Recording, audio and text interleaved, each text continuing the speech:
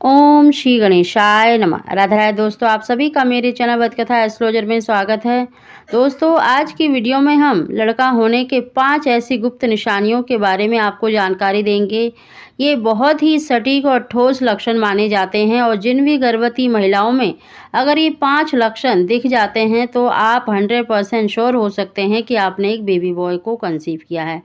दोस्तों, ये जो लक्षण हम आपको बताने जा रहे हैं, ये देखिए, बड़े बुज़ुर्गों के आधार पर है और मोस्टली गर्भवती महिलाओं में ये लक्षण पाए गए हैं तो उसी के आधार पर हम आपको जानकारी दे रहे हैं। दोस्तों, आप इस तरह की वीडियो देखना पसंद करते हैं, आपकी उत्सुकता बनी रहती है, इसीलिए हम इस तरह की वीडियो डालते हैं तो आप इस तरह की वीडियो को केवल अपने इंटरटेन के तौर पर, अपनी उत्सुकता को दूर करने के लिए ही वीडियो को देखा करें। साथ ही आपसे रिक्वेस्ट करना चाहेंगे कि आप अपनी प्रेगनेंसी को इंजॉय करना चाहिए क्योंकि ये समय कभी लौट कर नहीं आता है।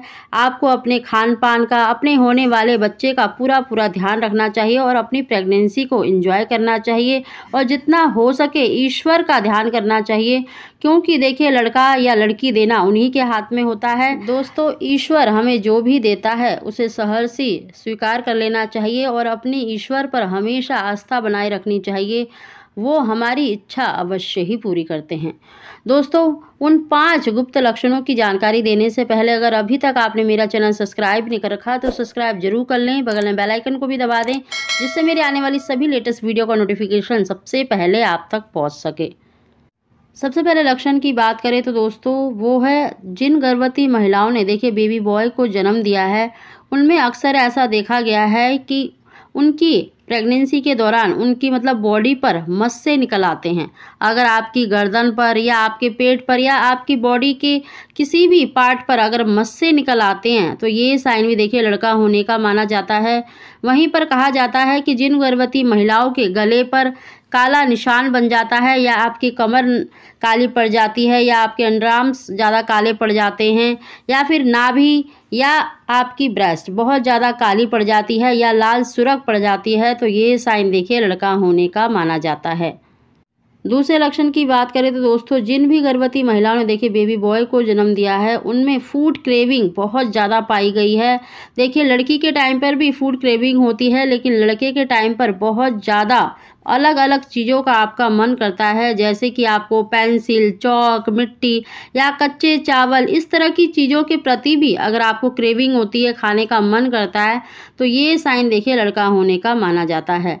तीसरे लक्षण की बात करें तो दोस्तों, इस लक्षण को आपको ध्यान से सुनना है।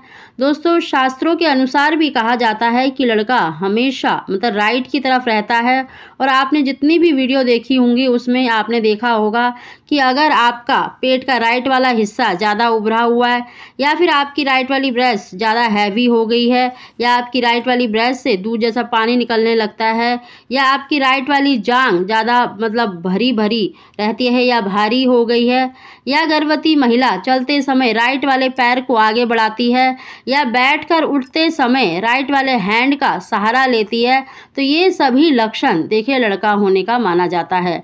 तो कहीं ना कहीं हमारे शास्त्रों की बात सही है कि लड़का हमेशा राइट की तरफ़ रहता है। राइट की तरफ़ अगर वो ज़्यादा मूवमेंट करता है तो ये साइन देखिए लड़का होने का माना जाता है। तो आप अपनी प्रेगनेंसी में ये सभी मतलब जो हमने आपको सिम्टम्स बताए हैं, इनको नोटिस कर सकते हैं।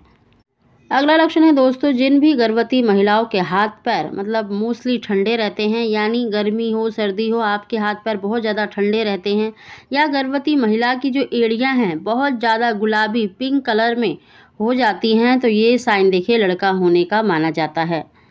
अगला लक्षण है दोस्तों, जिन भी गर्भवती महिलाओं के देखिए जो अनचाहे बाल होते हैं, यानी आपकी शरीर पर, फेस पर, अगर अनचाहे बालों की ग्रोथ, यानी तीसरे चौथे महीने से अगर आप नोटिस करें तो आपकी बॉडी पर जो अनचाहे बाल हैं, उनकी ग्रोथ बढ़ गई है। पहले वो दिखाई नहीं देते थे, लेकिन आप अब साफ़ साफ़ आपको दिखाई देने लग गए हैं। आपकी बॉडी के जो बाल हैं, आपके फेस के बाल हैं या आपके अपर लिप्स के जो बाल हैं तो ये साइन देखिए, लड़का होने का माना जाता है। माना जाता है कि जब गर्भ में लड़का होता है तो मेल वाले जो हार्मोन्स होते हैं, वो गर्भवती महिला में दिखाई देने लगते हैं। तो इस लक्षण को आपको तीसरे महीने के बाद नोटिस करना है। तो दोस्तों, ये कुछ हमने खास और ठोस लक्षण आपके साथ शेयर करे हैं। हालाँकि दोस्तों ये सभी जो लक्षण है देखिए हार्मोनल चेंजेस के कारण गर्भवती महिला में देखने को मिलते हैं और हर गर्भवती महिला में सेम सिम्टम्स हो ऐसा ज़रूरी नहीं है। लेकिन देखिए सौ में से सेवेंटी एट्टी परसेंट गर्भवती महिलाओं में ये लक्षण देखे गए हैं, जिन्होंने बेबी बॉय को जन्म दिया है। तो आप एक ठोस अनुमान ज़रूर लगा सकते हैं, यानी आप सही अनुमान तक पहुँच सकते हैं। दोस्तों, वीडियो पसंद आई हो तो इसको लाइक शेयर ज़रूर करें। आप सभी को